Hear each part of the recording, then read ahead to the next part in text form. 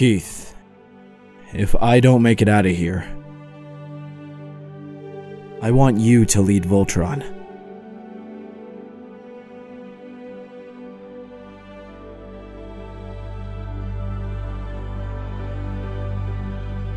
Keith?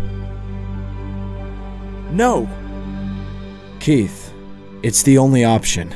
but it isn't. You're the Black Lion. You're our leader. You don't get to sacrifice yourself and leave us. That isn't fair.